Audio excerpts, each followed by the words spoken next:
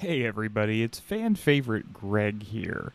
Just popping my little nose in to say we had some technical difficulties that caused this episode to get disjointed in time, and therefore it falls after our finale. And I don't want to say it was my fault, even though it became clear in the process of this that it totally was my fault. Um, I would still like to blame Mike or perhaps Ryan, even though, again, it's very clear that this was my mistake. Well, without further ado,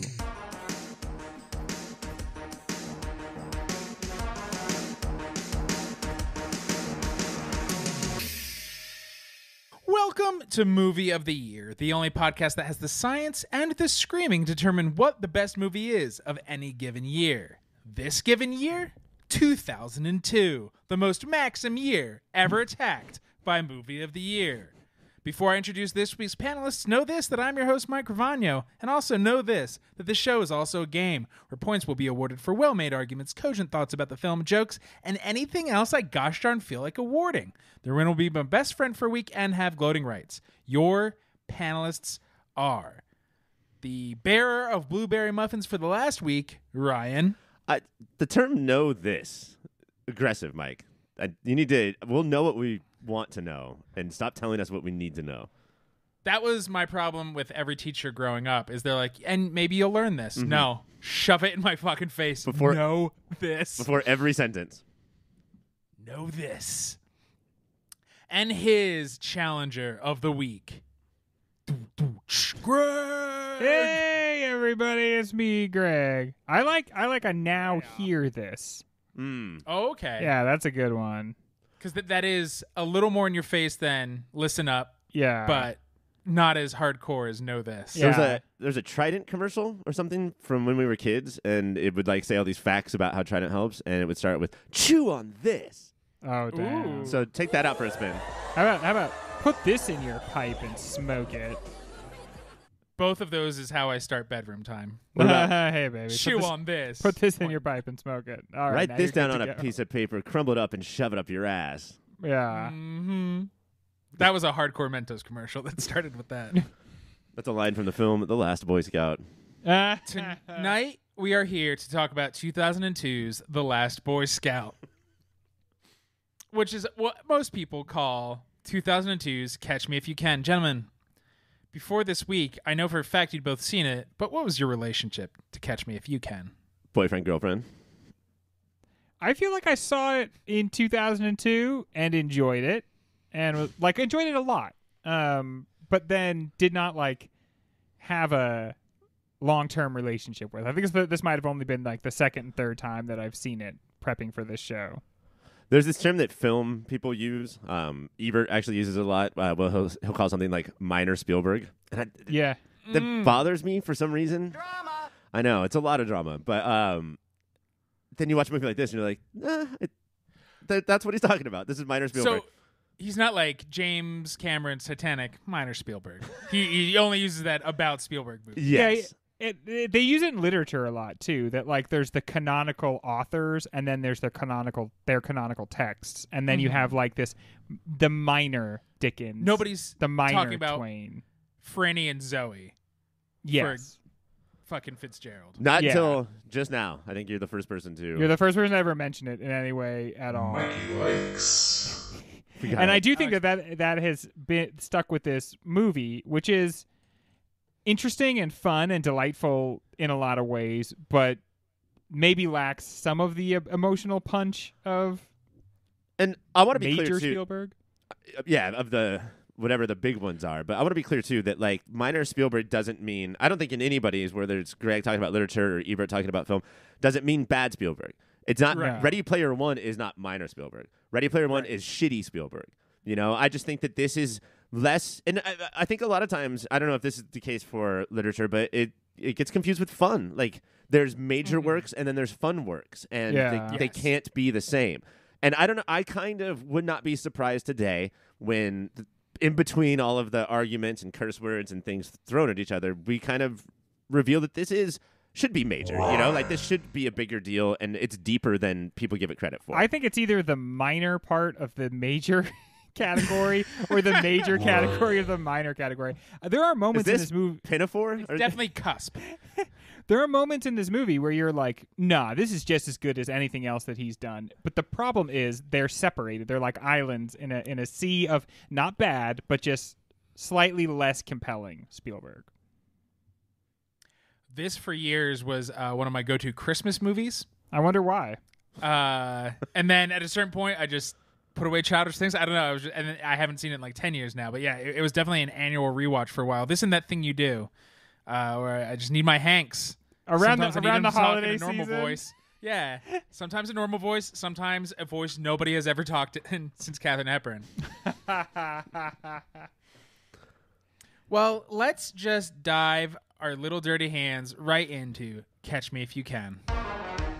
After over 20 years of Hollywood trying to adapt the story of Frank Abagnale Jr.'s life into a movie, we finally got it with Leonardo DiCaprio as Frank, James Gandolfini as Carl Hanratty, Ed Harris as Frank Abagnale Sr., and Chloe Sevigny as Brenda Strong, directed by Gore Verbinski. Almost, but then Leo had to do research for a little movie called Gangs of New York, and Hanratty was played by Tom Hanks, Frank Sr. by Christopher Walken, and Brenda by Amy Adams. After struggling to find the right director for the job, producer Steven Spielberg said, I'm going to pull a move from that guy from Jeopardy's handbook and say, fuck it, I'll take the job myself. This led to some changes about the parents in the movie and a different ending from Abagnale's book, which actually led the book's new edition to change so the movie and the book would line up. Because truth definitely mattered to everybody involved in the story of Frank. Taste buds, I ask you this. Spielberg might be the patron saint of this show, but as we were talking about before the break, is this one of his top tier films?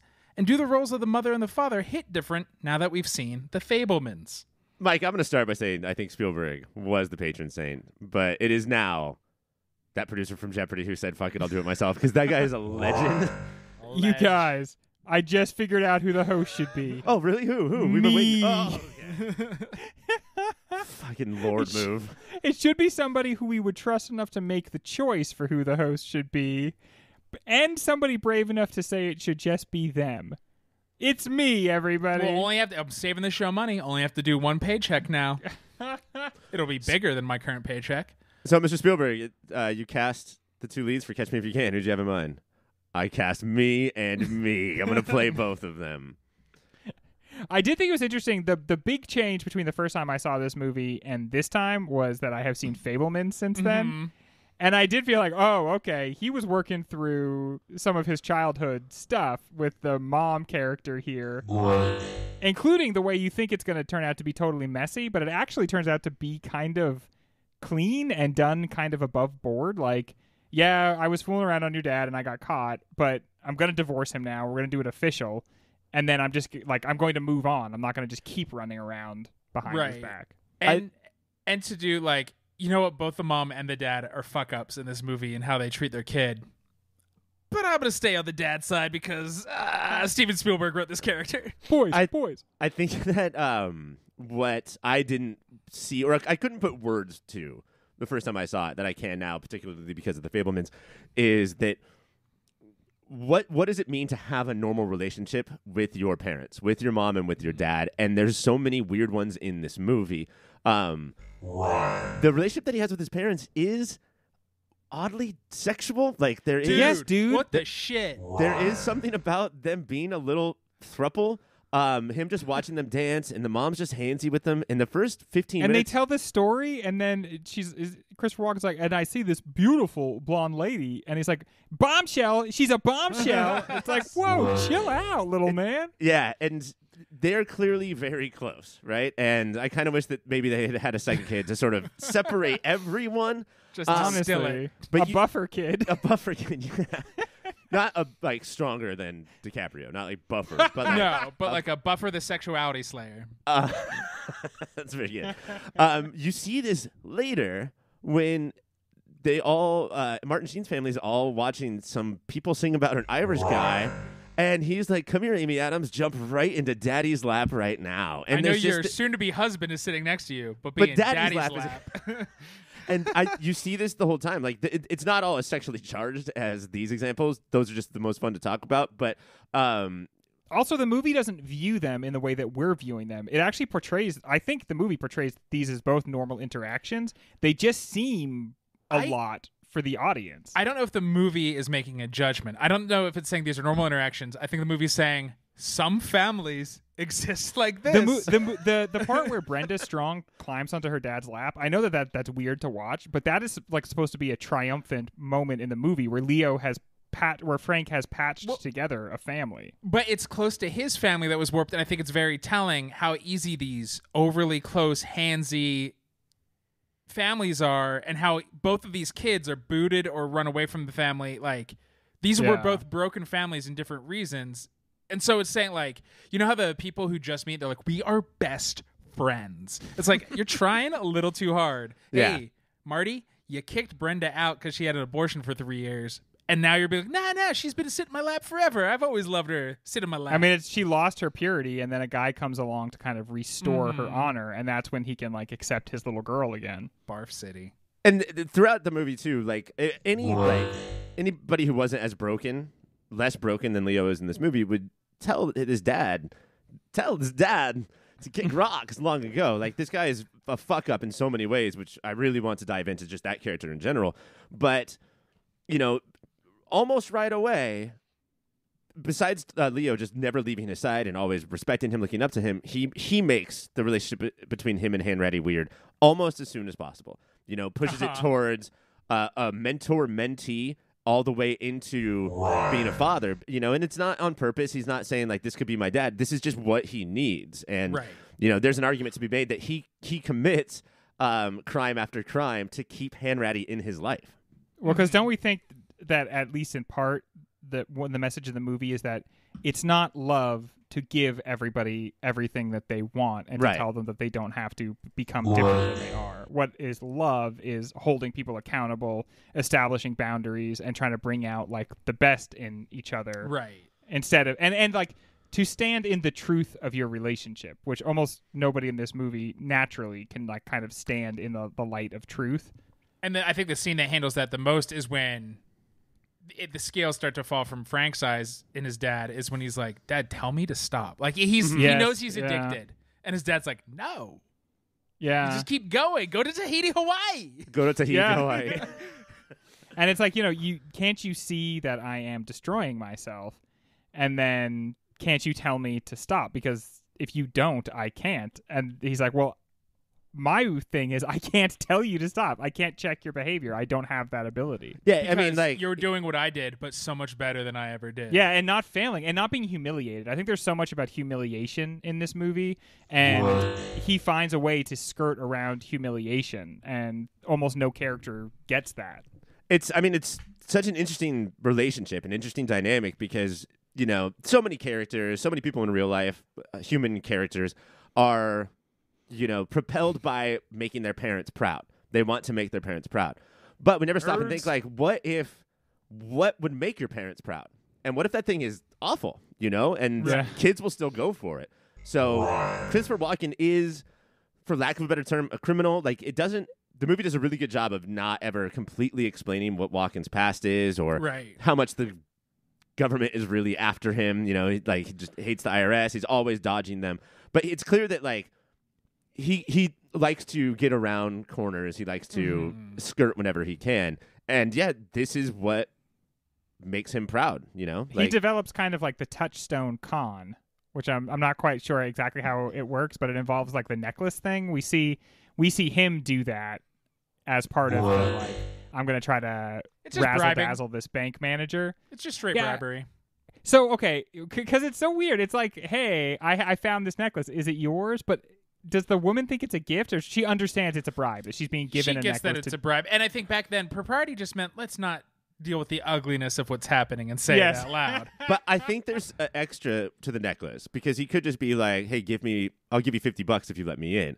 There's something about the story that comes around the necklace, you know, of like mm. there's a, a little added. I found this outside. Is it yours? That adds to like the charm of the two Abagnales. You know, like they definitely rely on the wink and the smile as part of their con. Because people don't want the truth people want a lie that they can sort of get lost in and it's playing with like America loves its outlaws. Always has. And these days it's muddier, but until like 1980, America loves its outlaws. I uh, in think pure there's- clean fashion. I think there's something to the prop comicness of it too. Like the way that it drops out of his hand is just like it's a bit, lip, bit like he's a magician, and then the way that it Yeah. swings is a little hypnotic. Which is why oh man, that's good. Which is why uh, Leo fucks up in several ways is it's not already in his hand the way it was in his dad's. Mm-hmm. He has to like fumble his bag, and then it's also because he's fumbling his bag, he does not see that the bank manager is now there. Slipped in there. But The fumble is the thing that ruins it. Like you got to be smooth. You've got Right. to be Walken esque. And he learns that like that's why he's not good right away at conning he like sees it and he, he but you watch him excel and get his talent and skills I it's know. very easy to forget that he's like 16 17 Yes. 18 for Yes. a lot of this movie like the movie does a pretty good job um like appointing the the actors so they look as young as they're supposed to because amy adams is supposed to look very young and i think she pulls it off well, a braces. little bit braces more. help Yeah. yeah i guess the braces really do a lot like the the hairdo and everything but her manner i think is very childlike but Yeah. because he's supposed to be an advanced kid i think there's a lot of scenes where i personally felt like i would sometimes lose sight of the fact that he is such a young guy because he's acting like an adult until you can kind of forget that until you forget how much of a novice he is about everything. The first 30 minutes has a lot of like his hair is messed up and he's sitting awkwardly but the movie just kind of does away with it. If he had just Yeah. been in a propeller hat with a giant lolly the entire time that would have solved the problem. I, I don't think people would have trusted that doctor as much. Is it my big lolly? Is it my big lolly? Uh refocusing on spielberg a little we've talked about throughout this season that 2002 is the most broy maxim fhm sex filled era that we've ever covered. How does history's most sexless director deal with that? There i feel like did we almost get a boob in this movie? I feel like there was almost a full-on boob in in this film which might have been a, a first. For the most part i think he tried to inject a little bit of that in here but it's still like he has a innocence about sex about him where it's like he would much rather show the like table getting rocked and then just be like okay they were doing it. Or show the a, a vase of flowers being rocked and you think it's going to be sex and then it turns out not to be. Or the laundry machine like swirling and you think for a second it's sex and then it turns out not to be. Or a guy So I sees a think he girl did- walk into a room and the front of his tuxedo just flies up and smacks him in the face but I think he tried to dip into a little bit of that 2002 Carl's Jr. commercial energy. But I, I think that be- because of the time it is, and because Leo starts 15, I think it does capture that like all I want is sex. That's I forgot what a poonhound Frank is in this movie. That that is like what driving him more than running from the law is getting tail. And Which again, sorry, this goes back to our Patreon segment where we talked about Leo, um, but we talked about how all of these roles between 02 and today are just remixes of the Leo Mm-hmm. character, and that Poonhound thing is definitely a part of it. and but it is with like a gleam in his eye and an innocence. Like it doesn't have the unsavory. He only dates 19 year olds yet. Oh, I think that this movie would have been much different and much worse because, uh, like, this is what Leo is good at, right? Is uh, everybody just roots for him. Um, the handsomeness is uh, like it's a bonus and not something that gets in his way. If you switch this out with like Ryan Reynolds, and with that comes that attitude and all of that, or like. Sh- Seann William Scott, if we want to get super I O2 would about it, love if Seann William Scott was in this. if we threw Stifler in there, um, that totally changes because you know those two. Uh, Ryan Reynolds plays a lot of characters that sort of just float through life and say funny shit, and th- it just works out for them. That would have ruined the movie, you know. Right.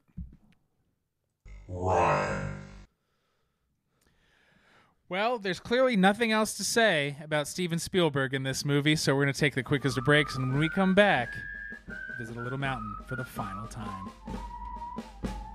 Mount Rushmore. Mount Rushmore is, of course, in one of those Dakotas. It was built as an ode the four most ghost busting presidents we've ever had. And in honor of those fearless men, what we're going to do today is build a mountain to the four most ghost busting actors of 2002. Who would be cast? I'm going to say this as plainly as possible. Who would be cast into Ghostbusters if it was remade in 02? Starting with you, Greg. I think this is always an occasion for us to remember that the Ghostbusters song um, features the line "Bustin' makes me feel good," which I think like Which I believe Dan Aykroyd did into a ghost mouth A in ghost the first mouth. movie. Dan Aykroyd's rider for this film included that he got to wear Civil era Civil War era uniform and get blown by a ghost. The dream. Uh, in 2002, if we want the someone with the comedic chops, but also like the physical comedy chops, and also somebody who has experience fighting weird little guys with unusual technology, I think we got to go with Will Smith. Oof. Um, the slapper himself, you don't want to see the slap captain. you don't want to see his hand where his proton emitter be at. Um, Classic right there. he could put on the the jumper, and I don't know, maybe he could look at it and say like, you know, what the difference between me and you, i i Dan Aykroyd is, and he could say, I make this look good, and then people just go nuts. So, do you think when an actor is cast in a movie, they just say lines from their other movies? Ryan, that is very clear. That that's what I believe. Okay, I've made several comments that indicate that I think that the actors are not actually people themselves, but are one of the characters they play, and that when they appear in other movies, they have some of the characteristics from that character. Well, you are picking a, the right actor who uh, has very little range, but gosh darn it, is he always a good Will Smith. And you know what? Will Smith is the first head on this mountain. oh yeah. This is the year of Men in Black 2. This would, of course, be a year where he crushes it as a Ghostbuster. Men in Black 2, a movie that we left off the bracket because it would dominate so much. Yes. We just double Johnny Depp, and not Johnny Depp, double Johnny Knoxville's would have crushed. and the CGI, too beautiful. Ryan, I this is a weird thing to prep for because I think it was very strong in my memory that we've done like 01 and 00 Yeah. and 04 and a lot of these Ghostbusters have been talked about. Um I wanted to see if we can make it a little more 02 specific, maybe. Um and so I'm going to go with the one that Mike just spoiled for everyone. It's Johnny Knoxville. it's Johnny Knoxville. Yeah. now this is not usually we're trying to sell as many tickets as possible um, Yeah. to the theater johnny knoxville has never been like a huge draw in that way but i think that with the uh, with the will smith thing maybe it'll be fun And is he a Ghostbuster proper? He's not. You're not saying he's such not a box office sale that he should be a Louis Tully. no no louis tully here i think that i want him on the poster in saying bustin makes me feel good And you know, he maybe falls off a roof, and then you just really make him do it. You know. Yeah. yeah We Maybe know you love drink- doing stuff like this, Johnny. Ghost jizz. we always talk about how movies of like the 80s and 90s if you cast a stand-up he'll just get a chance to like do his bit as like a rant Yeah. in a scene or Uh-huh. whatever So by that rationale, Knoxville has to be thrown through a building or something. The, the When staple we're of done- Marshmallow Man sets up a giant its own hand that if you walk in with a thing of donuts on Yes. a tray, Fuck, that's the funniest thing that has been in any movie in the history of time. Bad. I would just think about that giant hand slapping trays and laugh alone in my room. God, and Uh, just uh, makes me think about their relationship as a group of friends. Because if one of the three of us did that to another one of the three of us, we would never speak to that person again. Done. It's just so weird how they will still, all these years later, like casually just walk into a room where several of them already have been. I seriously, I would never stop like looking in the room slowly, scanning, clearing all the corners. Well, I think Crawl it's, down so your head's only an inch off the ground. Yes, so yeah. Gonna I think it's Aaron in that particular skit with the giant hand, who's like, "Hey, where'd you guys want me to set all these soups? I bought you all of these soups because he's carrying two trays. How fucking stupid are you, dude? Well, Aaron's gonna Aaron, man. It must That is- be. that is why they're friends with him. Don't you think at this point though, when they're like, "Hey, I need you to carry all these mouse traps," you're just like, "All right, I'll Yeah. carry them," and then you're just like, you have to almost kind of lie to yourself. Yeah. Like- surely. uh, I want to group nominate of that friends got a producer hand. Dave. The giant hand. the giant hand is a Ghostbuster. I want the giant hand in a Ghostbusters costume. All right, I'm putting the giant hand on the maybe pile. It's not a terrible idea. that hand's gotten a lot of laughs. Is on the mountain. Greg, who do you got? Well, guess what, Ryan? I also wanted to make this 2002 as funk. Uh, and so I went through a list of all the movies we watched, and I'm being absolutely serious when I say this as my second pick. I really think Ghostbusters 2002 could use the Coog. I don't think they've ever had an actor Oh. like Steve Coogan from uh, 24 Hour Party People. Um, and I just, he did so much physical comedy in 24 Hour Party People. He like, he does this thing where he's like, he is elevated, but he's willing to let himself be ridiculed. So he's like the perfect clown, a la The Simpsons. Um, and so like, I don't think they've had quite that. Somebody with like a lot of dignity. Uh, and if you have a British accent and you use long words, you just naturally Dignity. have dignity. And then he gets hit with the big hand. Come on, that's too much. We're gonna give him the soup. You know, when you were talking, um, I was thinking, what a perfect Walter Peck for Yeah. this new Ghostbusters because Coogan's just sort of got that attitude. He works for the EPA. He comes in and he's like, but Walter Peck, you have to fucking hate. Yeah, Coogan, given those lines, now you'll like him. You know, because he has that job or he has that like ability to be the worst person that you somehow think is hilarious. Um, I don't know. I mean, obviously, I think it's a terrible idea because I want, I don't want you to get points. But other than that, it's pretty good.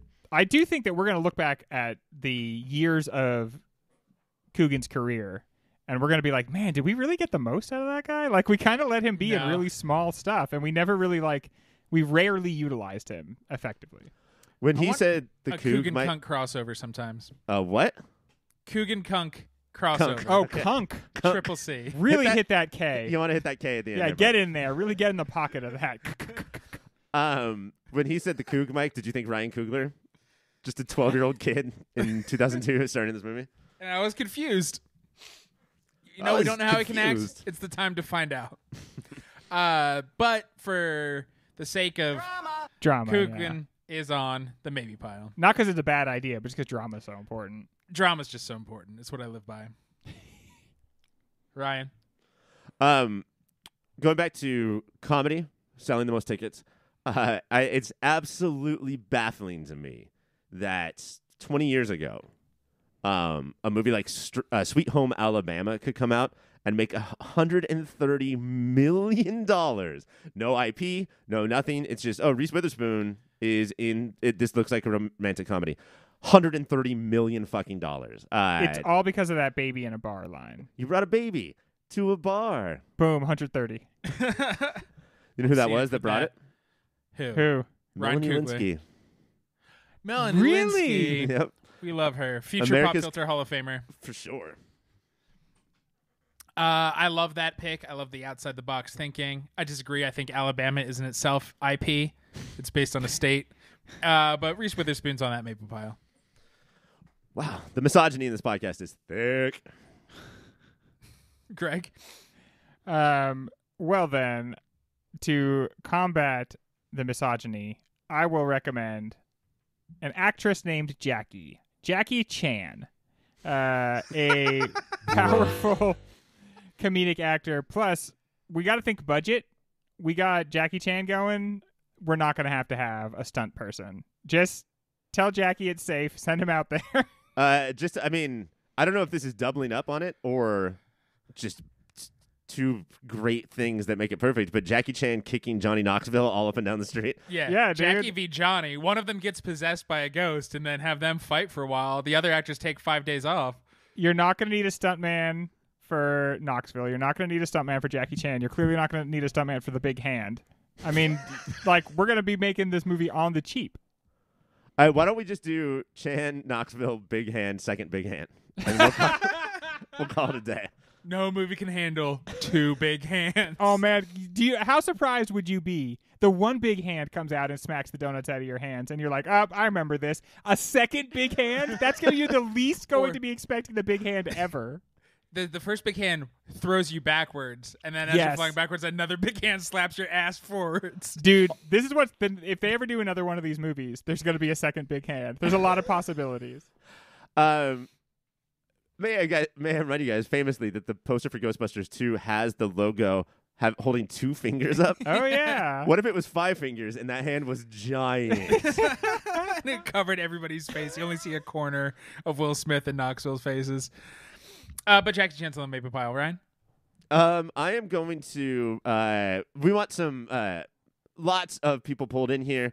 Um, what if the fourth Ghostbuster or wherever we're at was a little bit shorter, but talked a little bit faster? Because it's Eminem. What if Eminem was this Ghostbuster? Holy shit! I thought for sure you had you had picked my next pick. Is yours the That- green Eminem with the white boots? My next one is Stuart Little from the Stuart Little movies. Imagine him with a tiny little proton pack, Adorable. right? He's driving along. He's got like a model of the Ghostbusters car that he drives in, and it's again, Stuart Little rules are if you can climb into it, it will function for you as if it's a real vehicle. driving around. Oh, that'd be so cute. Yeah, that bitch would just sit in the matchbox and like f- turn a fake key, and it, the matchbox would start driving. Like, Yeah. that's not how shit works. That is Uh, how shit works. I'm fine with the talking mouse that wears clothes, but it's magic powers to make anything happen. Okay, so are we back to Ryan then? If both yeah, Eminem sorry. Because rather Little than say are on the anything about his selection, I just immediately jumped in and said my own. Uh, yeah, I've been on this podcast before. Uh, the uh, you get a bunch of points because you got Mike's secret pick is still out there, guys, and it Wow. is now speed choice. Um, okay, so I'm gonna go with Mike's favorite person, and Mike loves Seann William Scott. I do, but no, Greg. Adam Sandler. Oh, that's not terrible. Ryan. Um, if if we're gonna go big, uh, we should probably talk about the number one comedy of the year, uh, Mike Myers. Oh, Mike Myers, behave. Was there one of the Austin Powers in this year? Was it Goldmember? It was Goldmember, yeah. Ugh, that fucking. I feel like skinny we man. have I can't rediscovered do that, you and me, Mike, every episode this season. it just forced memory hold because I just always think of him eating his own skin and want to vomit. you each get one more. I'm going to go with, it's to me, right? Yes. I'm going to go with Now he cares. David Arquette. Oh.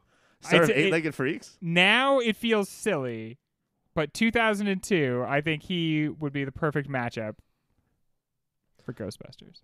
Do you want to do our Tullys now too, or is that later? Yeah, let's do uh, our Tullys after our main four. Okay. Um, named. the only other person that I think would sell a lot of tickets is that I have written down here is Ashton Kutcher. Ooh, the cooch. The Cooch and the Coog in the same movie.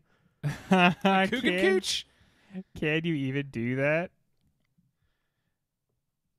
I like it. Your nobody got the super special bunch of bonus, which would have been coming hot off of Bridget Jones' Diary the previous year, and even hotter in Chicago. Renee Zellweger would have gotten you so many points. I said Reese Witherspoon. That's basically the same thing. I was so close to hitting it. I was like, wait, he kept talking. Hold on, let him keep going. Your Mount Rushmore of 2002 Ghostbusters is Will Smith, Johnny Knoxville, Coog the Coogan, and Greasy Reese Witherspoon.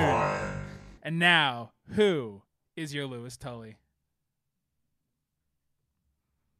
Who, who are your submissions for Louis Tully? Uh, I'm gonna just pick go. from this list. I'm gonna go with Tobey Maguire. Interesting. I'm gonna go with somebody who is like that, but just smaller, and it's Frankie Muniz. It's time Ah, to he go is from smaller. Ah, he's go like a whole size smaller. Malcolm the Middle to the big screen. You're both wrong. It's Seann William Scott. Of course, he's the perfect Louis Tully at that time period. That is your O2 Ghostbusters, and that is your final Rushmore of this season. We're going to take the quickest of breaks, and when we come back, the final second taste bud of this season. Taste buds, much of this movie relies on or takes advantage of the two biggest leading and likable actors of its time? Does it make you wish for the days when stars were stars? And how well does this on-screen pair work? I think they're great, and like, and it's not even like necessarily a chemistry. It's just that they're both great individually, so they would be great together. I'm not seeing like a uh, Redford and uh, Newman or a Pitt and Clooney sort of thing. It's just they're just Where great. they elevate? yeah, Yeah, that's. Re- I mean, ultimately, that's that's exactly where it is. It's like they both do a good job. You can't say either guy is doing poorly. They don't share a ton of screen time, but when they do, it's not scintillating. It's not. I, I- I don't know. It's not like a charm offensive from both of them. It doesn't really feel like they add to each other in any meaningful way, which is not to say that they're not each good in their own way. It's just I never felt like the heat coming off the screen. I mean, speaking of it, it's not that. It's not heat. It's not. It's not heat. the one scene in the middle where and that's all you get. But really, their most dynamic scenes, the ones that have them at their best with the best dialogue and the best rapport, they're on the phone. You know, Yes. That- Christmas yes. phone calls. The Christmas phone calls, and it reminds me of a pillow. Is it Pillow Talk? Was that that movie with Rock Hudson? Doris Day. and that and Doris Day, they they never want to show them sleeping next to each other, but they're always talking to. But that is like you are on fucking fire when you're on the phone. Yeah. and talk and Greg, you I think often talk about this, and now I can't remember if it's on air or just the unrecorded conversations we have in real life from time to time. That there's a different version of you when you are on the phone. Yes. And so they're both a little more awkward and nervous when they meet each other in real life, but when they're on the phone, they're just like, "Haha, hello, game of cat, and also cat, my nemesis." I, the thing that I think we watch build throughout the movie is it's obviously the relationship, but in a very specific way because they need the. There's this game of cat and mouse that's going on, and you know it's Tom Hanks's job, as he says multiple times. You know, whenever like Frank's like, "Could you just stop? Like, just let me make this money, man." He's like, "It is my job." But so throughout the beginning of the movie, um, Hanratty is thinking like, what is the best strategy here? Like, do I befriend him? Do I uh, act like an asshole? Blah blah blah. And as the movie goes on, he becomes more of an organic father figure person. In reverse, uh, or not in reverse, in the same way, um, Abagnale starts as like, you know, you're never going to catch me. I'm the smartest. I'm the supervillain, and I'm enjoying it, and becomes more organic as well. So we sort of get them coming together in this relationship. it's funny because you watch Hanratty's team actually get bigger, and you like watch them start to take it as more and more of a big deal, and that's right when um, Leo wants to, when Abagnale wants to tap out. Yeah, It's like, oh no, honey. It's like a whole international thing now. Like, if you steal a million dollars, they're like, hey. If you steal four million dollars, pushing to five and six, they're In- like, okay, wait, cut it the fuck out. in 1950s money too. Like, Yeah. Yeah, that was, which that has was a to be- buttload of money. Um, I understand how things work and what Frank is doing is illegal and needs to be caught, but I still think that the government is spending more on the chase than he was actually stealing. Like, Yes, That's a- it seems like that's it. a big, long case they were trying to put together. well, because They're they, flying numerous FBI agents across the globe Yeah. to find him. it's big, it becomes a big international story and i think that that applies an extra amount of pressure you know it's like on the front page of the new york times and so they have to it stands there as like a hey this guy's flouting everything and also isn't our current checking system really easy to defraud if you put together a little bit of effort so i think there's this idea that it's like also kind of trying to Fix. um, yeah, yeah, like future things and stuff, and, and, and to deal with it that way. Because if you remember the way the movie is set out, at first they don't give a shit. Mhm. Like the other FBI agents are making fun of Hanratty for trying to be like, "Hey, shouldn't we catch this guy kiting these checks?" and they're like, Only uh, women care about checks, buddy. Yeah, uh, I believe the women take care of the money in the household, and we just have to earn it. Oh, and then that guy does my favorite thing that hilarious dudes always do, which is make some shitty misogynistic comment like that, and then look around the room while he's laughing to make sure he got the laughs that he. Yeah, huh? Did you hear what I said? And par- a big part of that is we see Hanratty go through the opposite pers- like process that we see Abagnale go through, and that we see Abagnale Senior go through, which is rather than get more and more humiliated by life, he actually sticks to his guns and like builds up a life and kind of doesn't take humiliation as an excuse to flee from the truth. He takes mm-hmm. humiliation as an excuse to improve his actual real world situation, and so we Double see that down and happen. do better. Yeah, and doesn't really doesn't really throw at everybody's face how right he was. Yeah, No. I mean, he could have done a lot more, but that's Just he another gets his knock knock. that's another reason why you get Tom Hanks. You know, we talked a lot about Right. Leo, but the Tom Hanks of it all is, um, you know, the do-gooding, the relentless, but with a smile. You know, and it's it never has that um, peacock walk around, look what I did Mm-mm. scene in any of his roles that I can think of. because for the most part the perception doesn't matter to him like even the, it, the the part of what i think is very effective about this movie is the messages of the micro are the same as the messages of the macro. So like we were just talking about that guy looking around the room. Uh, the whole reason he does that is he wants to be perceived as in control and understanding what's going on, and he wants to be seen as smart and still powerful. That's its own con because he doesn't understand what's going on, and talking about it makes him feel small. And so he tries to con everybody in the room into thinking that he understands something. And Hanratty just doesn't really care about that. We learn at the end of the movie that he does kind of mess with the truth, that he kind of tells himself his daughter's younger than she really is because that helps motivate him. But we don't ever see him project that outwards to other people, really. Like, he And doesn't care. He wants to just live in the truth. It's also the filmmakers and Hank's not doing something extremely dramatic. You know, it's not like the truth is, oh, she died in a car accident when she was four Yeah. and she's frozen like that.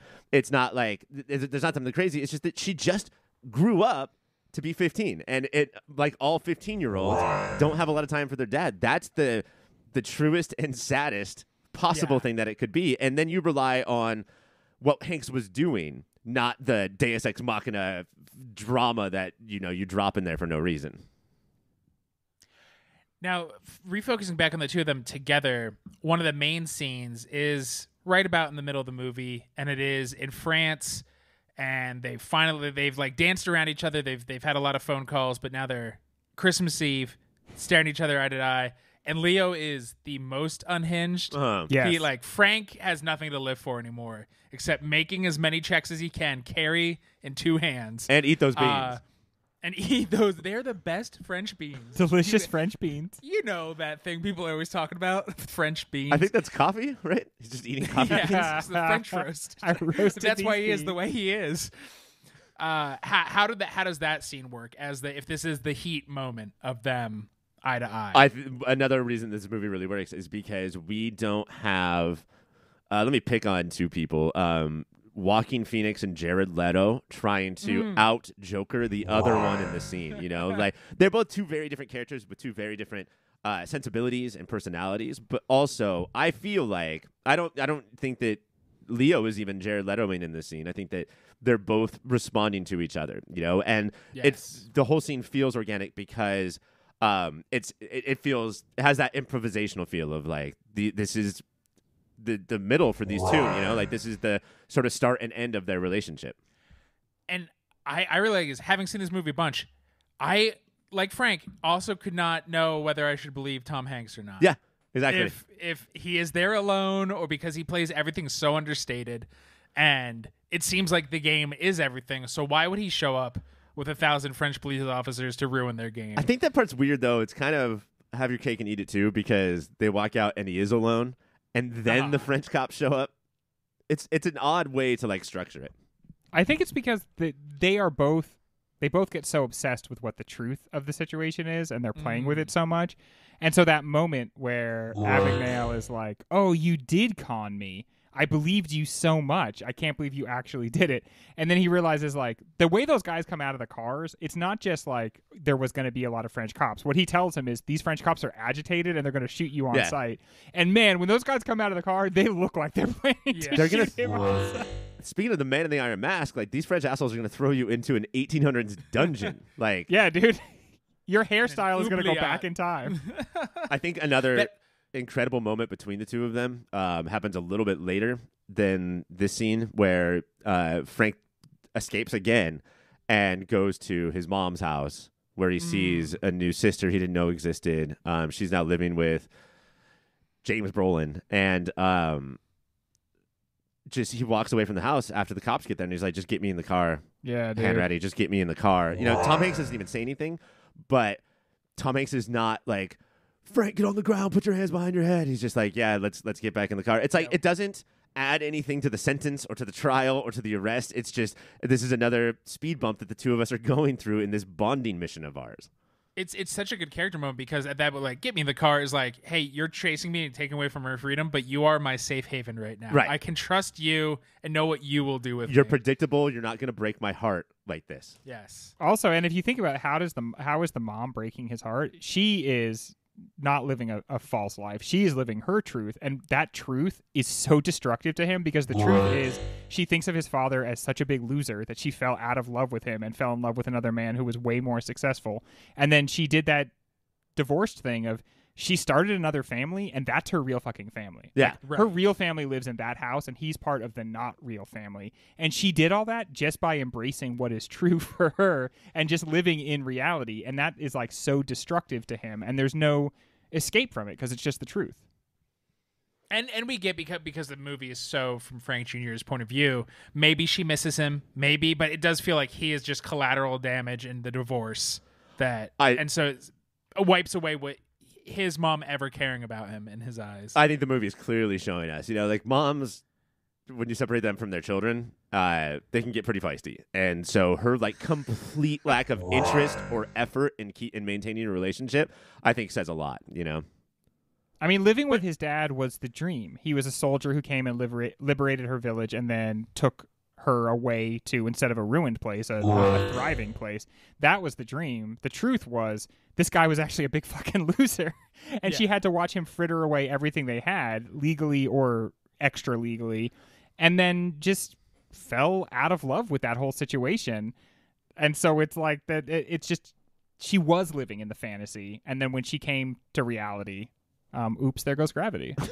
damn it! I was trying to think so hard. Shit, what does he say next? Um, another Leo moment I love is uh, with his mom is that uh, Leo walks in as James Brolin, her future husband, is coming out of the bedroom, and they're like Yeah. putting their clothes back together, and you're not totally sure if it did go down, but it looks like it did. Uh, the next day, he comes back, and the there's divorce proceedings Yes. happening in the bedroom. Right. But a guy walks out of the mom's room again, and Leo's like, "Are you fucking kidding me?" Damn, lady. What's going it. on and here? he just starts to attack the lawyer. Yeah. And the kid- he's like, "Whoa, whoa, whoa, whoa." It's not yesterday's situation. With, do you wish we got more? Like, I mean, we got three or four Tom Hanks, Meg Ryan movies. Uh, there's so many Leo Scorsese movies or all his directors. Do we wish we got more of this duo together, or because there isn't that extra spark elevating each other? Is it? Nah, By spark, do you mean all spark? there's not enough all spark. There's not enough power or responsibility. I gotta be honest, Mike. I had never considered that until you just said it. I've never thought like, "Where's our next Leo Hanks movie?" It's just, Yeah. this movie's great. I'm, Move on. I'm, I'm good. I think they have very different energies, and I think that they, the energies just don't mix in this. Clearly, he and Brad Pitt, Leo and Brad Pitt, have like very complementary energies, and so you put them on screen together, and it's just you can see you're getting more than the sum of the parts. But it it doesn't, yeah, it doesn't feel like they need like a movie to redeem this one because it's not that bad. First of all, not so- not redeem, no. but like you know, I Catch me almost if two can. Just yeah. And it's just a giant toucan hunting them. they're trying to get the Fruit Loops. Um, but yeah, you don't. It, that that you certainly don't come out of this hoping to see the two of them paired up again. And I wonder if this is the one point in their both their careers where this could work. Earlier, too similar because Tom Hanks used to pay a rapscallion from time to time, and now they exist in different kinds of movies because uh, Leo is you know uh, a gray or mostly bad guy in movies where people die. And Tom Hanks is only in Apple TV movies for dads that nobody watches. Was Tom, was Tom Hanks at some point arrested and like the judge said you just have to constantly make movies for Apple Plus and no one is allowed to see them? did, did he get in tax? Yeah, You guys, I have thing? seen all of these movies. I saw the movie where he built a robot. I saw the movie where he reads the news, and I saw the movie where he is the, a ship's captain. I have seen all the Tom Hanks. you saw Dog Chappie? I saw Dog Chappie, and I will see it again. I saw the one where he reads the news and it was He reads the news. Literally. Yeah, there's a movie where News he of the reads- Day, I think it's called, or News of the World. News of the World. Oh, is it the Postman type movie? Yeah. Is that what it is? And that was like I think right when everybody was like, d- it, it was a fine movie. Tom Hanks was great in it, but it's like, do we need all these movies? Like, why are they making so many movies? Now I I miss that time. That was just three years ago, but I miss it so bad because I think we're fucked. Because we've Well- got like four movies left Yeah, in the old tank. For, and then no more movies. and they all feature the Allspark. We're going to take the quickest breaks and contemplate the Allspark. And when we come back, play a little game. Taste buds. I am thrilled to announce that because of all the buzz that this episode is building for Catch Me If You Can, the film. I'm so sorry, real quick. My, the episode that we have not released yet. yes. Okay, the one that There's we're the not even done pre-buzz. recording yet. right. We're, we're in the midst of recording, but the pre buzz, it's building. Wow. Okay. uh that Spielberg got DreamWorks is making their own amusement park, and there will be a whole land dedicated to Catch Me If You Can. Oh wow. Catch Me If You Can, the theme park, if you will. So what we're gonna do? They do need some help. Uh, they're kind of bereft of ideas. We're gonna go through and go back and forth. We're gonna talk about rides, menu items, action figures. Uh, so I'll call it a thing, and you guys have to come up with good ideas. Does this make sense? That makes- Yes. This I is don't how know if Hollywood anything's ever made now. more sense. Hollywood writer strike doesn't stop us. We're scabs. No sure. All right. So, Greg, you're going to kick us off with what is the quintessential Catch Me If You Can theme park ride? the quintessential theme park ride. I think what it should be is um like there's this ride at, at Disneyland now called Rise of the Resistance, and Hell it's yeah, like there as is. much of um like Please, I'm not trying to be an asshole. Please don't say anything. I've avoided all spoilers for like five years now. okay. Um here's what I think the Catch Me If You Can ride should be like. You should it should it should catch it should catch the essence of like constantly slipping away is what I want to do. Mm. So um, you should be like apprehended at one point, and then it's almost like an escape room, and then you slip out the side, and then like maybe you hop in a, a car for a little bit, and it like takes you to the airport, and then you have to like sneak onto the plane. So it's like something between a ride and um, an attraction, you know, not just strictly. a ride. I love that. Ryan, we need more than one ride. What else is there? Uh, Mike, I think that there is. You're going to go into a room, and um, a bunch of information is going to be on a screen. You have to memorize it because when you go into the next room, you're taking the Louisiana bar exam. And you better pass that shit. Frank Abagnale's Jamboree. All right. Any more rides that are like, of course, this ride has to be here? Well, speaking of jamborees, I do think there should be one where animatronic, all the animatronic Franks sing old school country songs, and they're bears. All right. So we've got the amusement part down, but there is, of course, in a jamboree restaurants. So what what, what is a themed restaurant menu item, Greg? Let's see what what res what restaurant item do we absolutely need to have? This oh, you know what? It's got to be uh, it's got to be they serve you a salad with. You might think this is a cold fork. No, it's a chilled fork. You fucking rube. A cold fork? I've never even heard of that sort of language before. I guess you've never eaten at a fancy place before. It's not cold, Dad. It's chilled. So a salad with a chilled, not cold fork. I love that, but also, was his dad about to ask for a new fork that was Yeah. less cold? Because that was the vibe. Can you hot this fork up for me?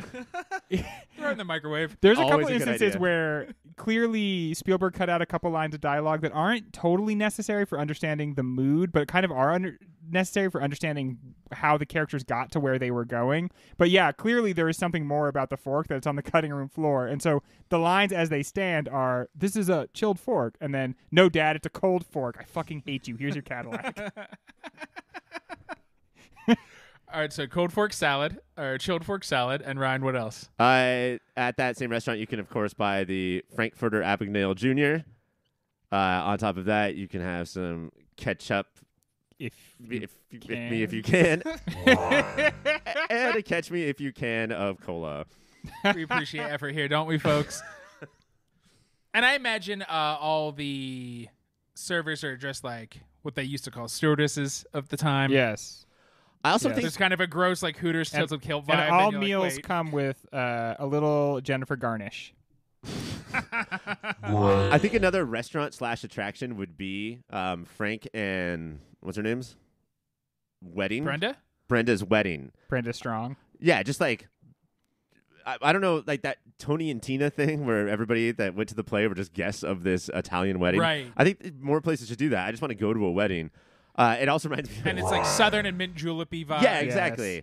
Um, all of the Louisiana food. It also reminds me of that place at Itchy and Scratchy Land where it's uh, New Year's every hour on the hour. Yes. so you're just counting down the entire time. But to, to get out of the restaurant, you do have to go into the house, second story window, climb out of the window. Well, money, like as a kid when you saw the most magazines, you got to stand in the money booth. Yes. Oh, So you, can do, just grab as everything. you're sliding out the window, you have to grab the dollar bills flashing around. That we could do that too. Um, if we do the printing press, that's a restaurant, and it's just instead of checks, Mm. it's like French fries, and you just have to catch them if you can. If you, now, all right, we're full.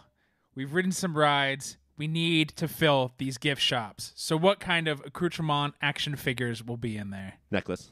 Got it. Yeah, necklace. Got to be Oh, pilot shit. wings too. The Pan Am pilot wings. I'm Is there a special edition? Uh, what's Hagnatty? What's his fucking Hanratty? name? Ready? Hanratty action figure, in action figure. in This is action. knock knock. Fuck you. okay, you know that's on the t-shirts. knock, knock, fuck you. knock knock on the front, fuck you on the back. I legit laughed. That is one of the best knock knock jokes I've ever heard. What? Um, I mean, I guess the competition's not super steep. Um, what can we build? Like how Star Wars at Disneyland has the lightsabers. Oh yeah. James Bond I car. guess Oh, you have to bake your own check, right? Like you like they give you all the components of a check and they kind of like they give you like a little reference guide for what it ref- roughly should Mm. look like.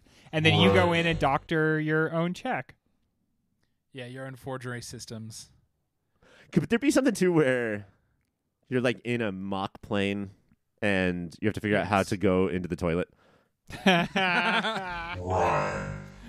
Man, Just the true story every time I have to go on the toilet while I'm playing. did we think he was going to do the Schindler's List thing there for a second? Yeah. Like he's just the going shortest Schindler's List because you just get stuck. Oh my god. Yeah, you get like one arm down there. I shouldn't have done this. Let me out, Hanratty. Truce, truce. I think Yeah, he, dude, I give he up. should have asked for like six more truces throughout the movie. He he actually gave up a lot. He's not that tenacious. He is not. Yeah. The okay. you know what toy you definitely get? There's two mice oh god. and a bowl of butter. When I watched this movie for the second time, anytime someone started telling that story, I fast forwarded. It. I could not stand hearing about those fucking mice anymore. Oh, But uh, they no. don't- One mouse dies, and they're like, "What a good story." Is it? Also, He's The first time we entombed in hear it- butter. the first time we hear it, Walken is toasting himself at his own awards. That's Yeah. fucked up. man. Yes, he's, to he me. somehow tricked a group of people into calling him the man of the year.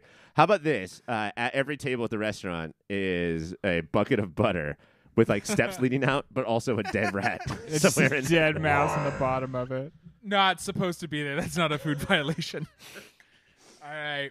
We have our, our the things we're selling, we have our rides, we have our menu. What clearly there's gonna be a stage show. What are some of the musical numbers from Catch Me If You Can? Maybe maybe there's a Groove 66 sprinkled throughout the amusement park. If for those of you who have been to Southern California's Disney's California Adventure, you'll know that reference. I think I think there should be like a Pan. Am I the one you're looking for? Um, maybe like him dressed as a pilot with like the eight like temporary stewardesses that he like. He he ruined these eight women's lives. Yes. He got them to drop out of college for a fake program. well, I think that they, you know, he it all kind of gets set up with the very first thing that he his like first con again in response to humiliation is being humiliated by kids in his class, so he pretends to be the substitute teacher. Yeah. When that old lady walks in, I'm not that old, but I'm kind of an old person now. My folks are old, and so I know what it's like for them to like get ready and go out into the world. I, like he did not give a shit that he ruined that lady's whole day. And that's a, like kind of a little peek into the fact that he didn't care really that there was this collateral damage. And those women are another good example of that. I mean, his wife, Brenda Strong, is kind of an example of that. Mhm. She sort of I could just be misremembering, but I feel like she kind of like disappears from the movie and is not really it's clear that she leaves him that they break up but like what becomes of their relationship we'll we'll talk about we'll get that. there mike don't you're jumping the gun mike we're still doing the theme park stuff I want one of the songs at the theme park show to um, be the continuing mutterings of that substitute. Just motherfucker, motherfucking stupid son of a bitch. All right. I think you know what? I I think you guys did a fine job. I think Spielberg and Co have a lot of good ideas now and everybody will enjoy next summer their first visit to Catch Me If You Can. This is opening soon. Can I do one more souvenir? Sure. Um, it's like sticks that come out um in front of you. You know, like devil that. jet- sticks love that 'em. jet. No, definitely not so that. cool Devil Sticks, Greg. as cool as it gets ryan you're totally right devil sticks All for the everybody cool kids will do Devil, Devil sticks, Greg. You know what those um like the Jackson Five Yes. You know, where you're Five guys, one- like yeah. you're one of them. But uh, so we do that, but in front of you is always a Frank Abagnale, like three feet in front of you, and so you're just chasing him the entire time. I love it, and I can't wait to go here. We're gonna take the quick breaks, and when we come back, the final official taste bud of movie of the year season 2002. Damn!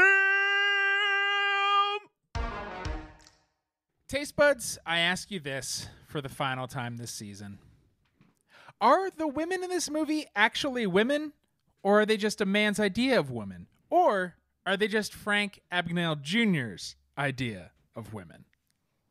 Yeah, especially when he like whenever he was interacting with a woman who was being sort of like bowled over by his act, I felt like it didn't take into consideration the fact that pretty women are constantly being approached by people with ulterior motives and that they it's not so easy to just get one over on them.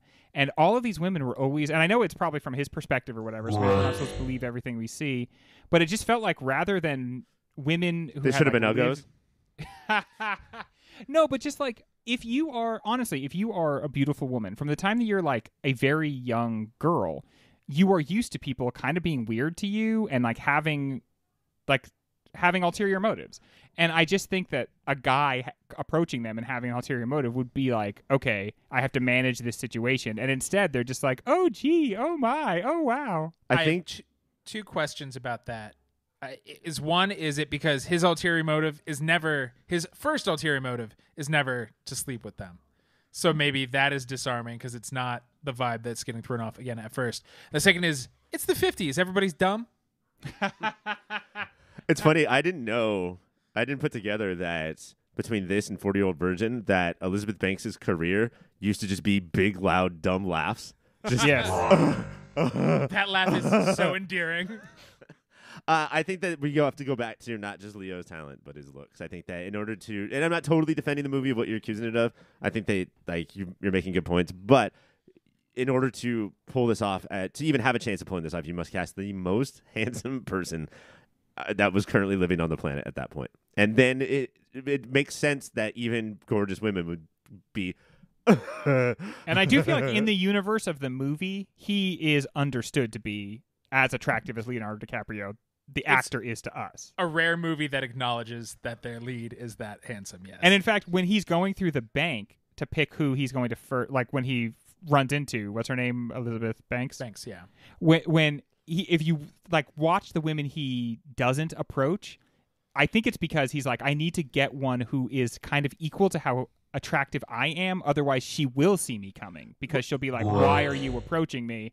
Which is kind of a gross thing to say, but I think that's his his thinking behind it. And so it does. The movie heavily acknowledges that, like, to even be in the presence of of a man this attractive, like even heterosexual men are disarmed because mm-hmm. he's such a good looking person. Well, I think the, the first other- bank teller that doesn't work on, and he is clumsy and doesn't move it, but she is not movie attractive. Like it's very purposely. Yes. So it does feel like you're trying to manipulate me. Fuck off. I don't think it's the attractiveness though, as much as the age and experience. I think that Yeah. in the beginning Oh, when he's fumbling, that older women, you know, th- they're it's not that they're not attracted to them. It's like I've seen your shit before, bro. Like I, I know what's exactly happening. And I know but- that you're not supposed to just take somebody back behind the counter and start explaining to Right. him how checks are processed. But I think that these girls are essentially his age, like Mm-hmm. very new to the world and therefore easier to manipulate. Like, could there have been more, I don't know, um, reflection or, uh, you know, uh, uh, being apologetic about destroying all these women's lives? But like,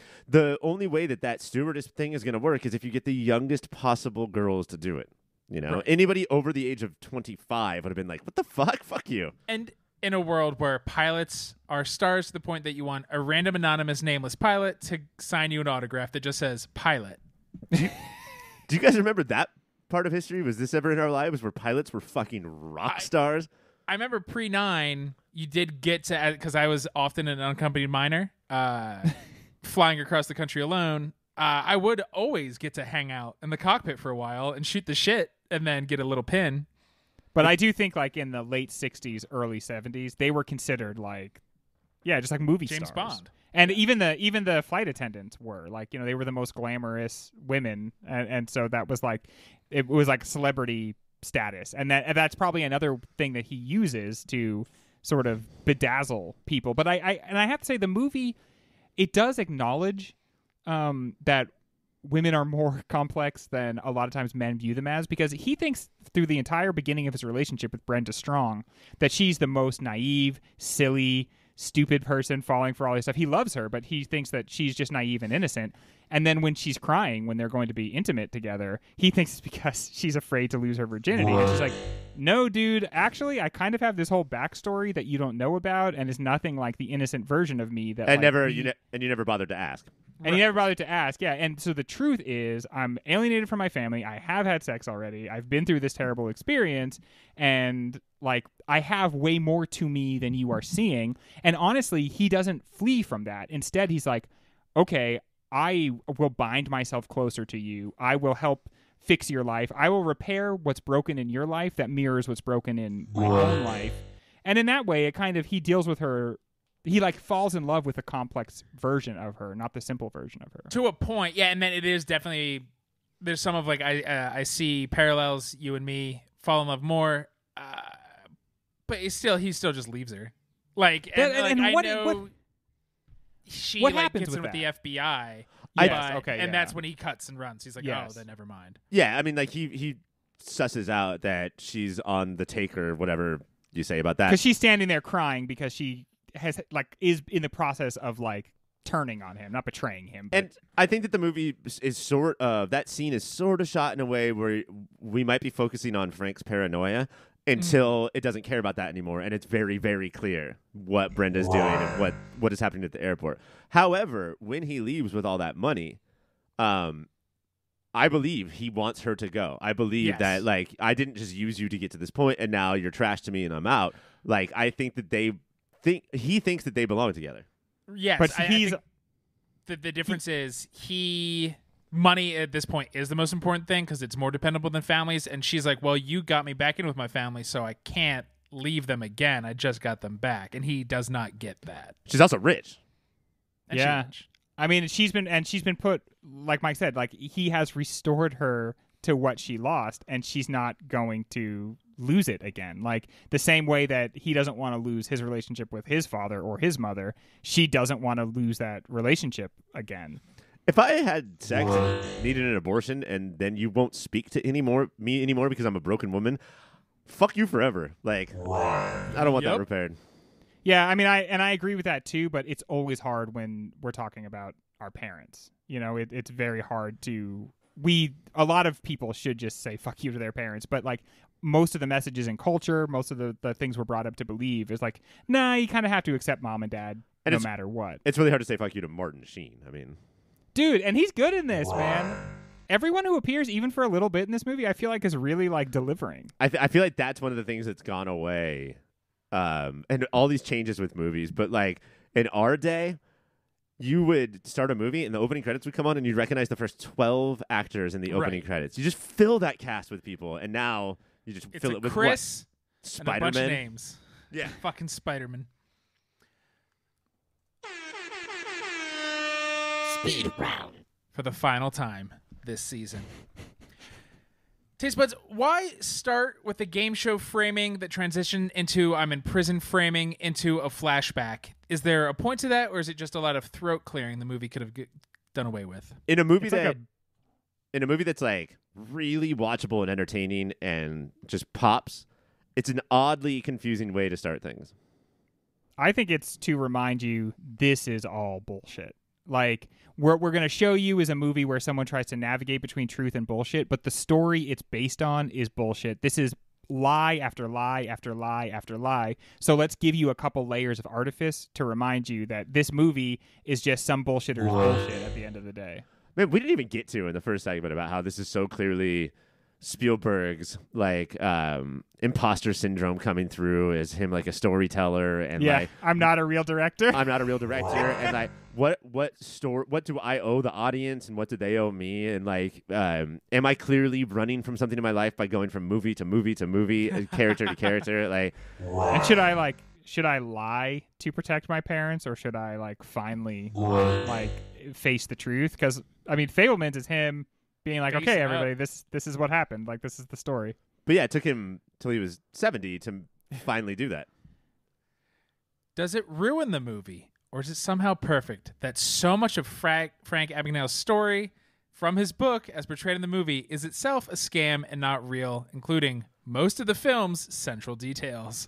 Yeah, I, wondered if we would talk about this because I'm not as sure in the end of at the end of the day how much it really matters. But none of this is like based on a true story at all. It's it's a lie after a lie after a lie after a lie. If some of the details in this are like so amazing, like somebody who lies all the time would come up with them, it's because that's exactly what happened. all of this stuff is BS, and it sounds like BS. And so in that way, I and think then it makes, the girl who was the biggest model at the time, Yeah. she wanted to fuck me.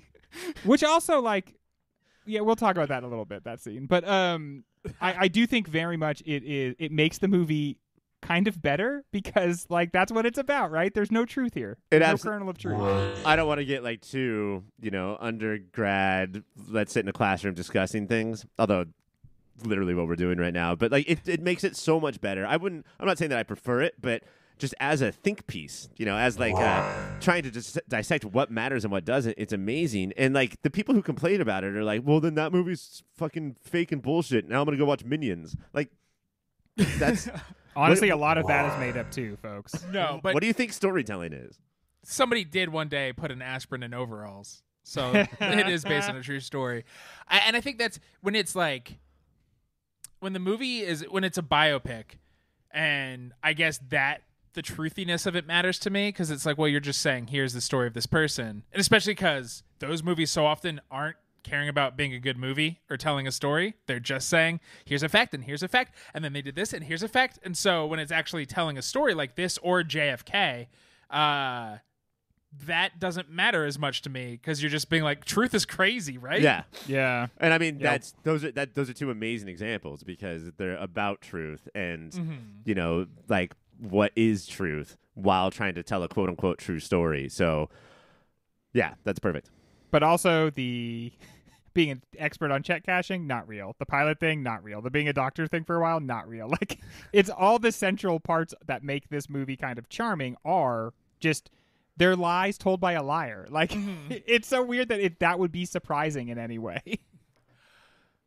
Does this movie at its core just show that both frank and carl are weirdos in their world? So of course they always had to find each other I mean yeah, yeah, I think there's a lot to that. They're they're both outcasts, and they're both they both get humiliated by other people, and it, it's the movie is about how do you handle when you're being humiliated. Can you can you sit with it, or do you need to construct a fantasy to pull yourself away from it? I think it's about two guys who in different ways but sort of think the same thing of like I don't need anybody else, you know? Like Mm. uh, I don't loneliness is never going to be a problem for me. Not that I'm always going to have people, but like I'll never get lonely. I will be alone and I'll never get lonely. And it's just it's simply not true. And I, I think that a lot of times we have stories about people who um, think they'll never be lonely and are lonely, and then we'll go on killing sprees, right? But this movie is just a little more simple than that, and it's just like, oh, here's two lonely people that found each other. Wow. we talked a lot about how spielberg relates to family and parenthood in general in his movies but what is this movie saying about fatherhood? Uh, Yeah, I mean, we talked a lot about this, but like um, that the role of a father is so much more nebulous than a mom in real life and in movies, and like there's so many more dads that dip than moms, and there's so many dads that like don't change their lives than moms, you know, and but the, as a kid, you, that's the only dad you know, and so like we were talking about before, that's that's the sunlight that you grow towards, even if it's not growing towards a great place. And I think we And watched that- that with the Abagnales. and that like what you do becomes what your kids do he grows up with one version of his father and he kind of becomes that version of his father but what he, he doesn't seem to realize is the version of his father that exists after they separate just becomes a hard worker who's willing to do what it takes you know he becomes a post office worker he won't accept the cadillac he realizes he has to face the reality of his life and he does but he's kind of already ruined his son by just acting the way he acted when his son was growing up. And so it's like he becomes that old version of himself and Frank Jr. never realizes, wait, I should become the person he is now, not the person he was when I grew up with him. He's also like he's like weirdly out of it as the movie progresses. Like not dementia and it's not necessarily alcoholism, but there's something off about He's broken. walking in that yeah, it's just that like he's sort of well, this is my life, I guess. Fuck. And then like it's almost like he he can't see Frank anymore for the person that he is.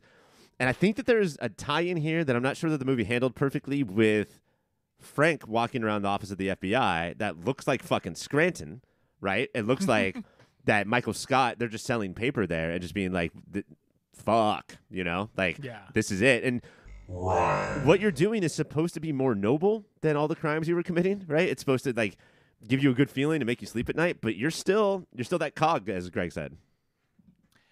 Is Spielberg, in his infinite Spielbergianism, tackling class in an interesting way? Yeah, I mean, all this like they they want to be rich. They see money as power, and they're also stuck. You know, like they're going to be stuck in that butter forever if they follow the rules. And, And like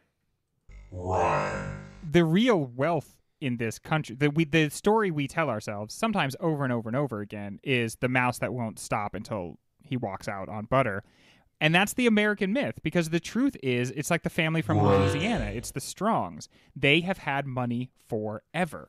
And that's who is going to end up with money, not these people who hustle. The hustling gets taken care of in a lot of different ways, and one of them is that the like police state comes and takes you away because if you're rich, your crimes exist a long time ago, as First Cow tells us, right? If you have money, there there is a crime at the root of it, but it's in it's, it's in the distant past. If you want money now, your crime is going to be in the present, and then you're going to get in trouble for that. And so I think it's like the class thing is you get away with the crimes of your ancestors, but you can't get away with your own crimes, even if they amount to similar things. I wonder how the Strongs did make all that money in that plantation ass looking In house Louisiana? Yeah. how, how did they come about all that? How did a bunch of Louisiana Lutherans make a whole bunch of money? You sound like you're narrating a reality show. we took 25 crazy Louisiana Lutherans. How would this movie have been different if it was directed by Steven's non-union Mexican equivalent, Esteban Spielbergo? The same. Such a I, valid question. I think it would have absolutely been the same. I'm guessing Roma? It would have been the movie Roma. Would this movie have been better if one of Frank Abagnale's profession was a dead rabbit in the slums of 1846 New York? No, I think we know it would have been worse at this point. yeah. Ha- For this having, particular group of guys. having done two podcasts about this question, it would have been worse. And finally, and this is pos- possibly the most hard-hitting question we've asked all night. Of all the 2002 babes in this movie, which one was missing the most, and why is it Nani from Lilo and Stitch? Would you have cast a real person or just drawn her in? Drawn her in. Yeah. I've recently seen a movie that does a pretty good job at mixing mediums Oh, really? across the Spider-Verse, and uh, I think just draw her in. Yeah, dude. 2002 needed a cool world, and it could have been Catch Me If You Can. Also, what real woman could live up to the beauty standards set by her? None. None. Zero. Zip. That is all the time we have for Spit Round. We're going to take the quick breaks, and when we come back, the final award season of 2002. Taste Buds. It is the final award season of the season. And can you believe that Catch Me If You Can was nominated for some uh, Academy Awards? Yeah, some. There's Thanks, like research department. Is this the last time you tell us it's the last time of something for the season? It is not. Oh, okay. I'm going to be honest. I'm looking at my notes. It is not. But you know what? Excellent question, Ryan. We're going to start off with the first and last time we give out the award for Best Escape. Greg. Okay. I'm going to say the best escape is how he escapes from his parents' divorce. I think there is Hmm. nothing more that 2002 kids needed to see than someone who says, Mom, Dad, I understand you're getting a divorce and I understand I have to choose one of you over the other one. And I choose to run away and become a pretend pilot. So his first initial escape when he runs away from their divorce, which I think he basically spends the rest of the movie trying to escape until he realizes that his mom is happy with her second family. Who the fuck? God, that sounds so familiar. That sounds some. Th- that had to have happened with somebody else. Running from divorce? Yeah, and just not being happy, not accepting your mom until way later in her new life. Is it Esteban Spielberg? Is it non-union filmmaker Esteban Spielberg? I think it is. I mean, yeah, that's the that's the whole thing, right? Like he he kind of like secretly made the Fabelmans before he made the Fabelmans, but we just didn't know because we didn't have the Fabelmans yet. and it, it, it's so fucked up uh, throughout like the whole second act of the movie he makes it very clear to christopher walken multiple times that i'm doing this so we can get the family together Yes. and Yes. walken knows he hasn't seen her in years uh, she's married now and he's just like well i guess do that sure Yeah. Has she seen you in this? Don't let her see you in this uniform. Uh, y- yeah. Oh, That's that- what the issue would that be. would probably change her mind sure uh, Ryan, what is your best escape? I think there's a clear winner for best escape, but I'm gonna go instead of like most successful and most dope.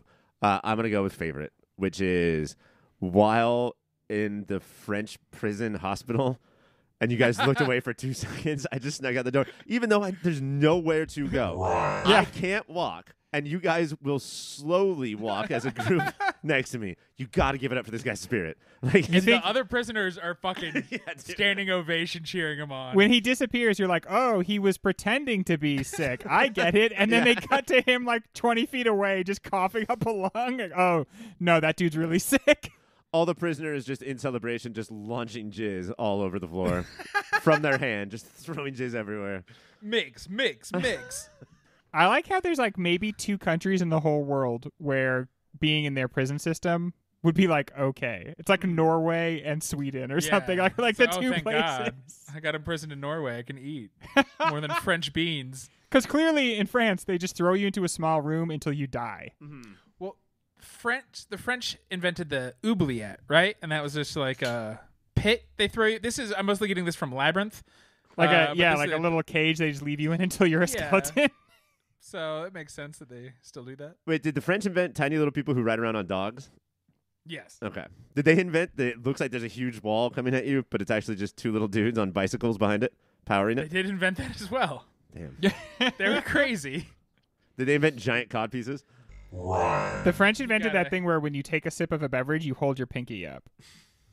And what what was the point of that? It's I to get show the your point fancy. of two little guys on a bike and just fanciness. Yeah, it's to show your fancy. Yeah.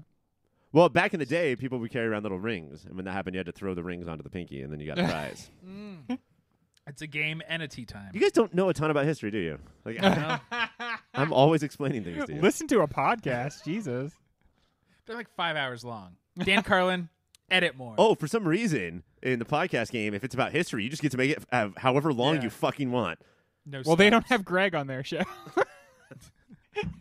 Who's like, hurry this up? I'm sleepy. this is too long. I gotta go to bed. All right, best accent, Ryan. I don't love that I'm picking this, but I'm just I have to go with my heart and the warmth that it fills me. I'm going with Martin Sheen and the Louisiana style. Uh, I we talked about what a despicable person his family is and him because of his treatment of his daughter, but I think that he gets away with so much of it because one he's Martin Sheen and two he's just got that Louisiana upper upper class. He does not sound like Gambit, right? But yeah, I'm going with him. That's a good one. What do you got, Greg? I couldn't tell if this actually meant best or meant worst, and I think either way, it's Tom Hanks doing the Boston accent, the oh, Massachusetts. oh, that's supposed to be Boston. I think so. I thought I it was was just like some New England state I've never heard Baston. of. Is Baston. I think it was Dutch. I think this is supposed to be the father of Elvis is. He was right. Um, but it was like the accent itself is deplorable and gross and awful. You mean Um, even like when it's done well? Like, yes, exactly. Like the, the better the better Makes it's me done, the worse it is. And so uh, his version is, I think, like at first I thought it was a bad one, but I think it's actually pretty good. Um, but also it's terrible. And so just to cover all my bases, I went with Tom Hanks. You know what? It's it's the one that makes you want to chew on it the most. Yes, And he just he's an actor who can't do accents. He should probably stop trying. man. Almost anytime he does an accent, it totally takes you out of the movie. Just the guy himself, you're like totally drawn in. He does an accent, and you spend the whole time being like, "Why is Tom Hanks doing this accent?" He did Big's accent really well. That you know what? He nailed Big. He did nail big. Did this at all feel kind of like a weird spiritual successor to Big? If you think of like how young Leonardo, like how young Frank Abagnale is shown to be, like he's addicted to comics. When they are in his room, there's just candy and potato chips on the ground because he's like a child. I, I felt like this was kind of like playing on some big vibes. the biggest change between 2023 and the 60s or whenever this is is Tom Hanks finds out that he's a comic book reader and he's like, "Oh, he's a child." yeah, and now, no, that means he's 45 years Ah, he's a old. 45 year old man. He uh, spends his time reading comics like adults are, uh, tend to do. Cringiest moment, Greg. Okay. I'm going to be Greg about this because this might be my last chance to be so. So This is the last cringiest moment. he and Jennifer Garner enter into a contract whereby she will render consent to have sex with her, provided he pays her 1,000 US dollars.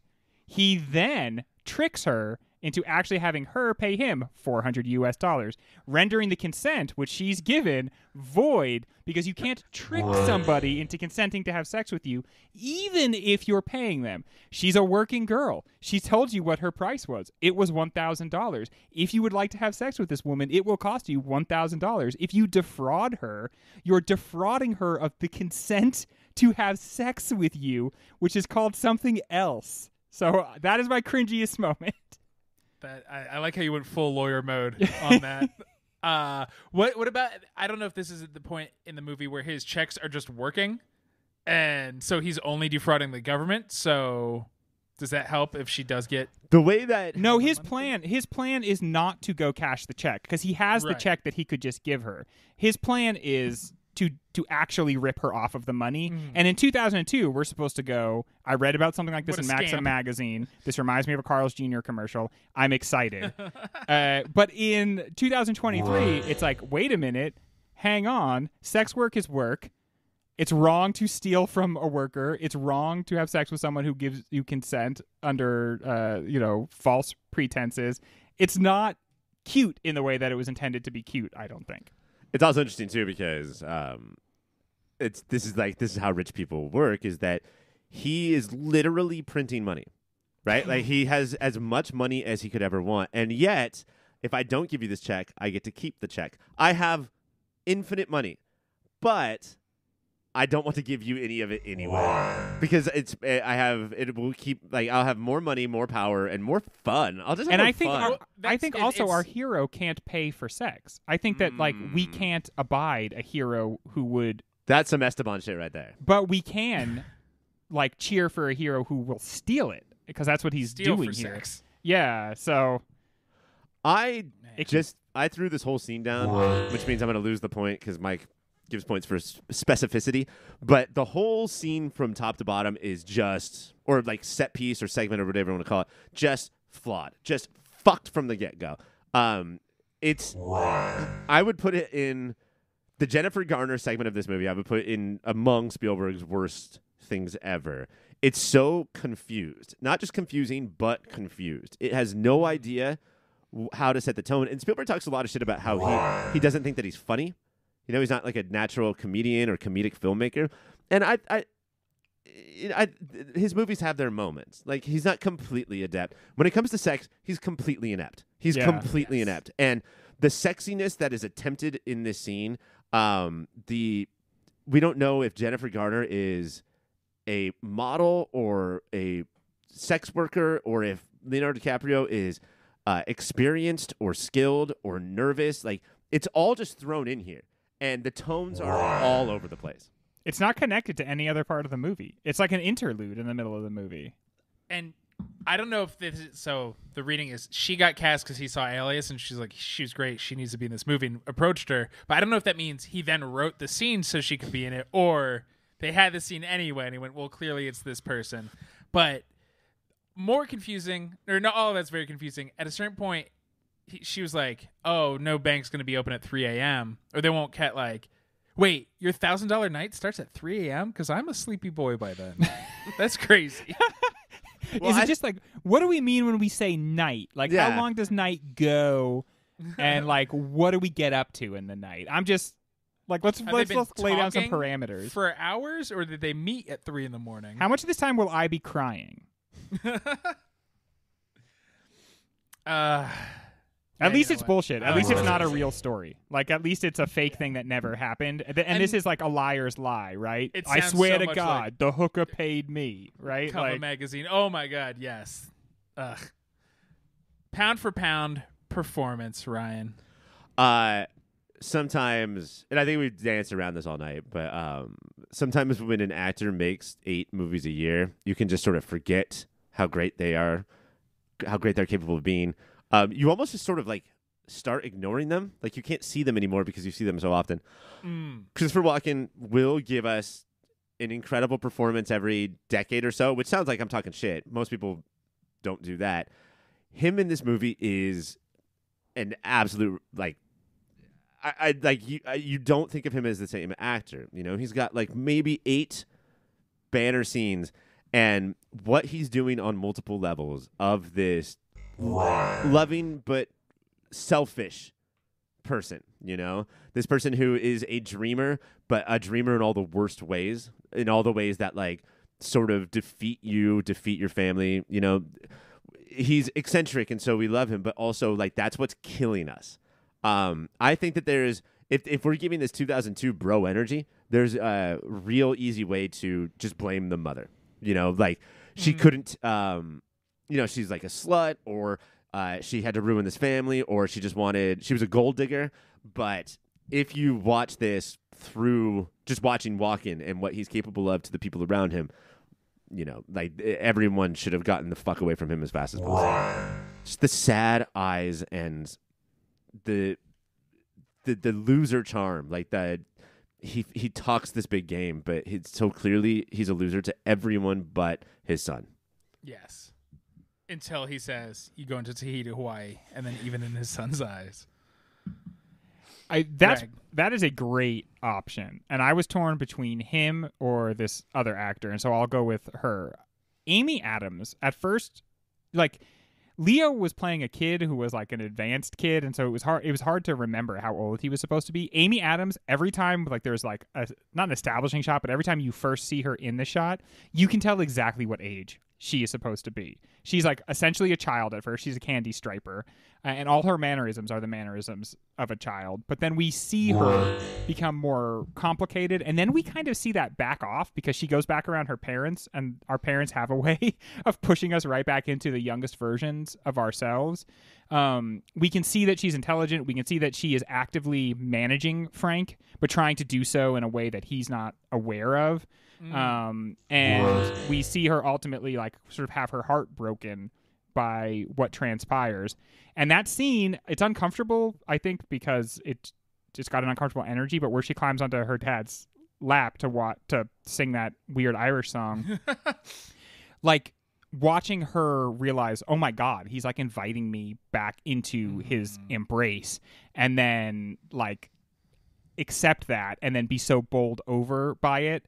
Um, I just thought that like this is why the pound for pound exists because she's in the movie so little, but she's doing so much, and she's honestly, in a way, kind of saving the movie because she's a reminder that the movie is constructing at least one or two three dimensional as well as just dudes. I think that you could like whole not to keep talking shit, not to beat a dead horse, but I think you can like whole cloth cut the Jennifer Garner stuff from the movie and be fine. Um, and then what happens is that you have this character who like we don't see him hook up with a lot of girls, but we just know. We just have this feeling, you know? And that's perfect. But what Amy Adams brings to be like the the one of the the harem that has a voice, I think is so important. Like she is all of these girls are great, you know, like and they're all about to become stars. Right. It's crazy. But nobody is bringing more like gravity to their role when Mhm. um, Tom Hanks walks into the room and sees the open window, which, first of all, before that, let's talk a little bit of science. A, a, a hundred dollar bill floated under the crack of the door and then out towards Tom Hanks' face. I don't think so, but he turns around and looks at Amy Adams and her face right there of like, I don't know if I'm in trouble. I don't know if I'm brokenhearted. I don't know what happens to me and my family. Like, it's Mhm. an incredible uh, scene with no dialogue. You know what's another good one, Ryan? The one where she wants to show him that she's gotten her braces off. And as soon as she mm-hmm. shows him that, they have like the intense energy and then they start kissing. And then it's like Dr. Connors. And she's like, "Don't you have to go?" And he's like, "Nah, I never respond to any of this stuff." Yeah. And then the way she pushes him back with her foot, With her and is foot, like, yes. but Oh, don't you have to go? Because she's the only one that's really good at being like, no, this is what you have to do, man. Like, yes, I am doe eyed when I look at you, but also I understand that you have something you have to do. And I'm telling you, go do it right now. We're not going to do this fun thing. You have to go do work. And that, like, encapsulates the en- entirety of what makes her an interesting, complex character in this. Did you hear when we said pushes her him back with her foot? Did you hear the noise that Mike made? I That was a I thought lot. we were gonna just move on. thought we from were going to just glide over that, Ryan. Uh, Greg, I'm so proud of you for not choosing the star for the first time and last time this season. I think I this is the only time I did it. And Amy Amy Adams is phenomenal. and She's great and great argued, but Christopher Walken, damn it, that was the wrong one. Uh, it's what he does is that as like it's easy to forget that the Hessian can also act his balls off. Speaking of Amy Adams, Amy Acker is in this movie, and their names are similar. Their names are similar.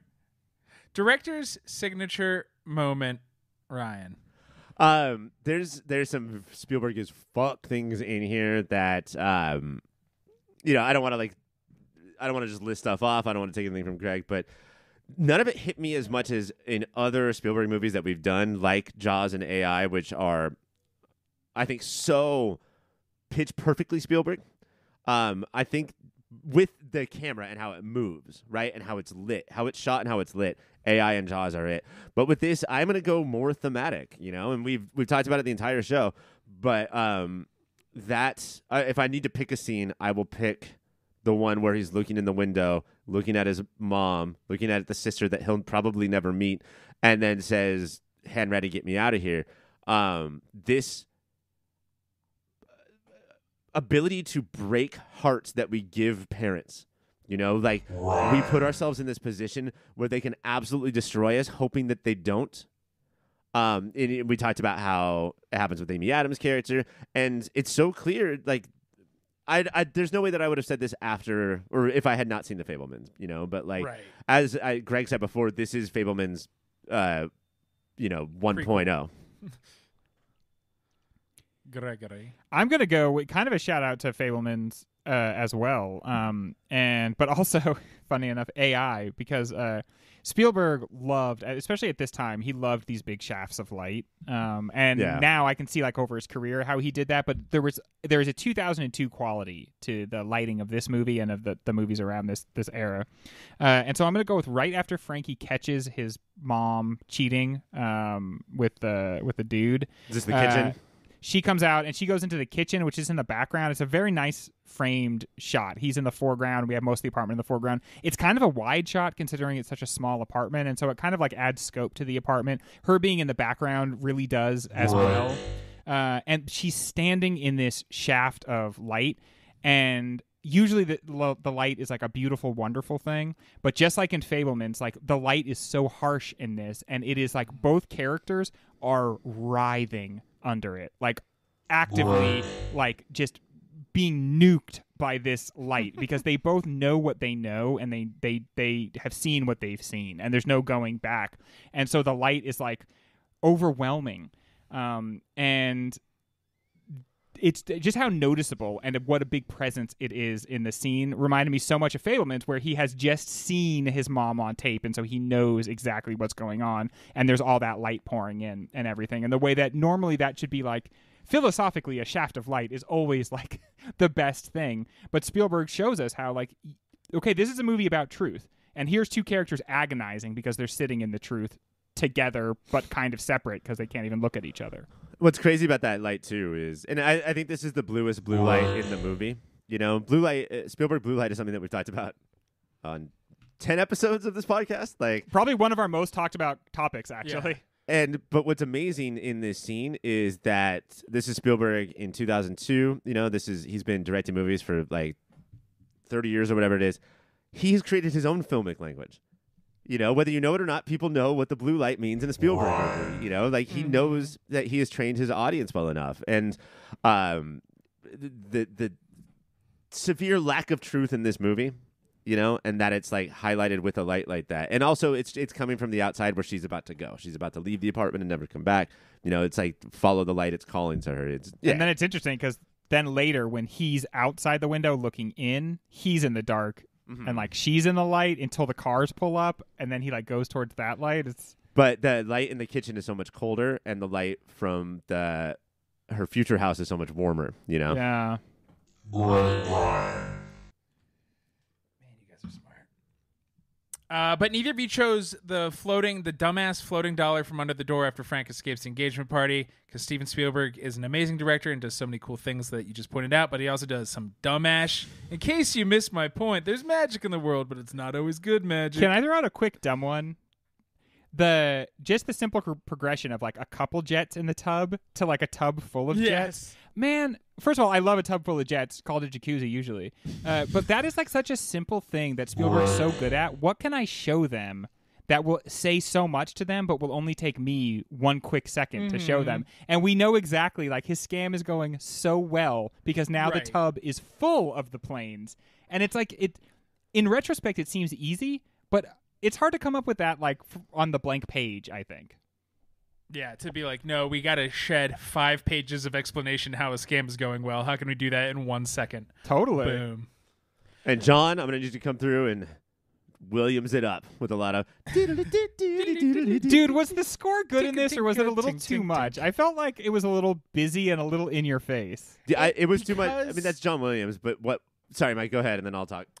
I, I was gonna say because what the nature of the story is, and it so much is like, and I'm at a bar and I'm telling you all these great adventures I had. It feels like of a piece. Suited to that. Okay, I Yeah. like it. So yeah, I think that they're all going for a thing, and they mostly succeed with the way that he shoots it and the way that Williams scores it. But the thing that like pushes it over the edge into frisky greatness is the opening credits. Like Yes, that fucking just love those credits. that sets you for the mood more than anything else.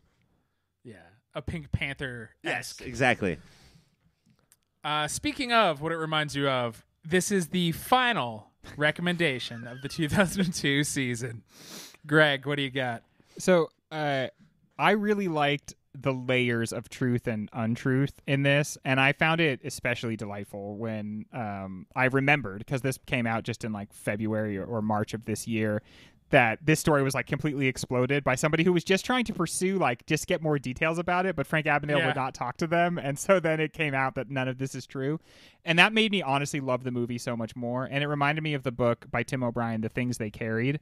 Um, this is like a autobiography of uh, his time in the Vietnam War. Um, sometimes he'll admit that parts of it are not real. Sometimes he swears that all of it's real. He's told different versions of all of these stories. Tim O'Brien, the uh, the actual like publication page, which is always the place where only truth is, uh, actually has false details in it, saying that he's changed the name of some of the characters, but other characters' names are true. Uh, and it's like it's totally unknowable unless you like were in the army with Tim O'Brien, what is real and what is not real about his memoir, and that is the perfect like analogy for Vietnam. Um, and that is what the, the book is really about about Vietnam and about like what it did to our understanding of truth and what it did to our understanding of reality on an individual and societal level. And it's one of the best books I've I've ever read. And it's like it has this extra le- level of fun because it's not possible to tell what's real and what's not real. And In the Army with Tim O'Brien is actually the basis of another movie that plays with truth, In the Army Now, starring Pauly Shore. right? I believe that's true, Mike. Uh, it's the first time I'm hearing it, but I believe it's true. that is an excellent book and a great recommendation. Ryan, what do you got? Um, Catch Me If You Can is such a move, good movie with good stuff in it, and everybody's doing a good job. And that reminds me of Spider-Man Across the Spider-Verse, but might actually be a better movie. Uh, aside from that, I think that uh, it's very clear if you listen to this episode that we're all recommending The Fabelmans. Not necessarily. Yeah. I think we all liked it or loved it, but also just as a companion piece for this because Yeah. it, it is supposed to be like if you watch this, you watch that. As far as my like sleeper pick goes, I don't know. I don't think this is very famous of a movie, despite being directed by Ridley Scott, uh, starring Nicolas Cage. And the year is next year, 2003. Uh, it's called Matchstick Men, uh, con artist Oh, yeah. movie where uh, a dad and his child and their friend Sam, Rock- Sam Sam Rockwell, who plays Sam Rockwell, uh, they do cons, and a lot of these themes are tackled. Uh, it's not. It's just not Spielberg. It's Ridley Scott, and I think it's a really good example of you know w- we tackle Spielberg so much easier, I think, than Ridley Scott because Ridley Scott is more of like a I'm just going to dabble in genres. I'm less of like an auteur. Here's my stamp on every movie. Matchstick Man, I think, gives you a lot of that about how you know these untold stories and um, this weird sort of comedy that he's capable of. Of like none of his movies are really comedies, yet they're all all have a ton of funny, great moments. Is is this a famous movie? Matchstick Man? Yeah. No. Only in that it is not. Yeah, I was gonna say only like it. Yeah, it's, I would say people have heard of it, but they, if you said, "Okay, now mm-hmm. tell me like any details about it," they might be able to give you some of the actors. They might be able to give you the, the idea that it's like there, it's about men. cons, but it, it's not a famous movie. I would say. the the feelings and the tones are completely different, but the premise is very similar, and also the watchability is very similar. Like these movies, you you can burn through them. It's funny, Ryan. All of this has me mindful for some reason of a 1973 movie, Paper Moon. Oh, why? Ooh. The like the father child con men. Oh no, it's like it lines up. I just don't know why that's on your mind that year. I'm just I've been in a very 73 state of mind, Ryan. I've been Weird. reviewing the movies of 73 and occasionally the movies of 74. Should we call That's a s- Greg's doctor? Like this is fucked yeah, up. That's, This that's is such a weird thing. Yeah. Do you smell cookies baking right now? hey, Greg's doctor. This is Mike and Ryan again. Stop calling me, Jesus Christ. hey, Joe. It's us. Oh, on the Uh, weekend, huh? Good, good. So you'll have lots of time to talk to us. Oh, golfing, cool. You're just walking then. That's the perfect time to chat. Uh, my recommendation is uh, similar-ish, I think, to, to yours, Ryan. Is it's it's about con men. It's about what is truth, how we tell stories, and what it means to be family. Not fatherhood so much, but when you have no parents, you just have your brother, also named Bloom. It's Rian Johnson's Brothers Bloom because that is a movie I want to talk about all of the time and make everybody watch all of the time. It is delightful. It's not the most, or it's not the least talked about movie that Rian Johnson made. I think that's The Last Jedi. Just no one ever Yes. has a conversation about Nobody that. but ever yeah. said anything about that. Have a take It's on The there. Last Jedi, America. I believe that Uh, it is his only movie I have not seen. it is it informed i knew i loved brick and then i saw that and that cemented him as one of my favorite directors at least like it's going to be interesting no matter what he does. Mike, are you And just saying also- you love things you can see in the room? i love things i can see in the room. I love Brick. especially when his brothers bloom brick. Last jedi. There's the final jedi is in the corner as well. A loop or uh it also informed unfortunately my like aesthetics and clothes for a while because they both wear vests and suits all of the time. This is Brody, yep. Weisz, brody Weisz and ruffalo and Ruffalo. Baby. I was gonna say Schwartzman, but I'm thinking of Darjeeling. Ruffalo. Do you guys remember when Ruffalo was in movies not as the Hulk? it's he's a good actor. Uh, some of our listeners uh, over at patreon.com slash your pop filter, you can hear a whole another 25 minute segment uh, about Leonardo DiCaprio. And we talked a little bit about Shutter Island and did not mention Ruffalo is great in that. And it's when he is more than the Hulk, man, he's a good actor. I've also noticed. I don't know if this is important to bring up now, but um, people who do a John C. Reilly impression can roll it pretty easily into a Ruffalo impression. It's just like a little less cartoony. Holy Whoa. You just blew my mind, brother. yeah, that broke my knob. Yeah. The truth. Do you see that blue light? Yeah, yeah, dude. just in that shaft. and I can't stand it. I'm like writhing and wriggling in it. This is the final time of the season I get to announce who my best friend is. Oh Uh, man, this is the full off-season best friend. Yeah. The full off-season best friend.